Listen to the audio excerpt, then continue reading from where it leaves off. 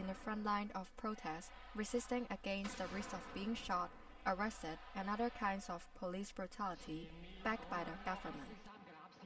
In the game, player will need to locate, pick up and throw the canisters back to protect everyone. The player should be aware of the flag shown by the police and try their best to avoid being hit.